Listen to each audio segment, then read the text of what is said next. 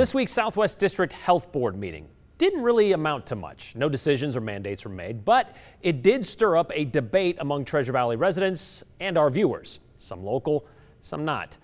During that three hour meeting on Tuesday, Adams County Commissioner Vicki Purdy brought up the malaria drug hydroxychloroquine and how they should be pushing it as part of a protocol to treat COVID 19. She claimed there was a quote tsunami of studies that show it works. However, as we pointed out that day, there's more evidence that shows otherwise, and even those that show the use of hydroxychloroquine to battle COVID 19 can cause heart, kidney, or even liver problems. When we asked Commissioner Purdy about her research, she sent us an email and a link to a Frontline Doctor Summit website. The same frontline doctors whose credentials have been questioned and their website removed. Also in her email, Commissioner Purdy said there are thousands of doctors all over the country that could give us a better interview on hydroxychloroquine than she can. So we asked one. Dr. Sky Blue is an infectious disease specialist who works with St. Luke's and several other hospitals in the valley. We thought we would take Commissioner Purdy's claims to him to find out if they were true and get a breakdown on how we got here with hydroxychloroquine. We were totally on board with hydroxychloroquine early on.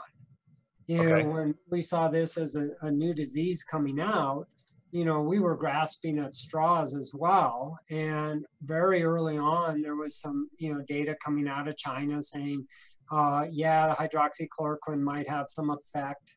Um, it was really what I call dirty data because, you know, basically they were throwing everything at it to see what would stick. Our treatment protocols at that stage pretty much gave hydroxychloroquine to everybody uh, in the hospital. So we were using it. Then, as it started to be used pretty widely, we started seeing these retrospective reports, meaning that they look back at who was given this hydroxychloroquine. So, as the retrospective data started to come in, it didn't look quite as good as um, you know initially. So, and also there was uh, reports of harm from it as you give it to a wide, uh, wider group and an increasing number of them. You know, what we really need is a randomized control trial, you know, the kind that looked forward and had a placebo arm or somehow, you know, controlled for those uh, areas of bias. And as those randomized control trials started to come in, uh, it was really not showing the benefit that we wanted uh, with that. That stage, you know, in my mind, this shifted to the burden of proof saying that, you know, we don't want to do harm. You know, we've had randomized control trials now that aren't showing the benefit.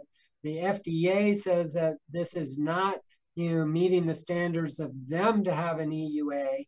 And so at this stage, you know, that um, that's kind of where we're at. Dr. Blue says there have been a lot of smaller trials done, with maybe 48 patients here, another 150 patients there, that have shown benefits.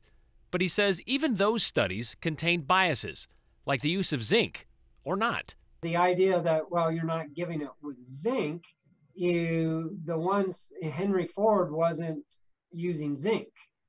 The ones that are looking at zinc then aren't looking at the no therapy at all and often the ones who are getting zinc are the ones who are healthy enough to say, hey, I want zinc and, you know, I can take this supplement, etc.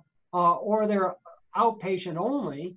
And that's where you have a really low mortality anyway. And if you're just comparing those to historical controls, what happened in the past, this disease changes on a month to month basis. That's a good point. So, you know, a week to week basis basic stance right now after you walked us through this timeline, but where we're standing right now is that the benefits don't outweigh the potential for harm when it comes to proven benefits have not outweighed the potential for harm. And if you're giving it to a very large number very early in infection, they're a lot less likely to be hospitalized or die from it. So those potential harms loom pretty large. Bottom line is St. Luke's is not using this treatment. Uh, we do not have it as a recommended in a protocol. So in fact, our uh, protocols at St. Luke's say, you know, we recommend against using it. uh, because the data is not conclusive of benefit over harm. Uh, we don't say you can't use it. Uh, we just say that it is not recommended from our review uh, and it is now not authorized under the emergency use authorization for the FDA for that. And what about the claims that there's a big money conspiracy to stop people from using it? Dr. Blue says that's just not the case. They have the drug to use, but nobody is paying them to not use it. It feels like everybody wants this thing solved right now, and they will grab anything that seems to fit that bill. Sure. What? I'm I'm right on there too. You know, I, I'm I like to look at anything that that seems to help. Um, but when we start to have things that say, well, it doesn't help uh, and may cause harm, then I'm looking for something else. You know, it's funny to me that it's the exact same people who say don't wear a mask.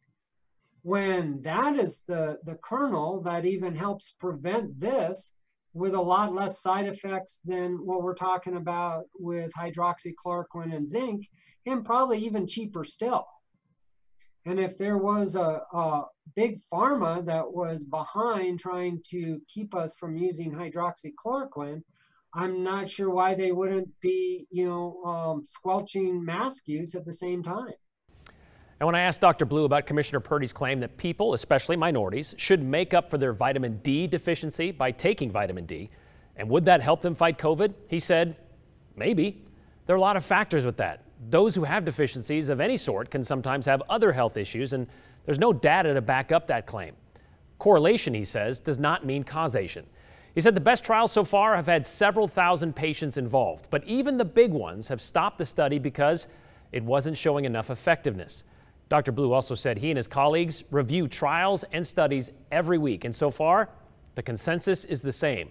The benefits of hydroxychloroquine don't outweigh the risks.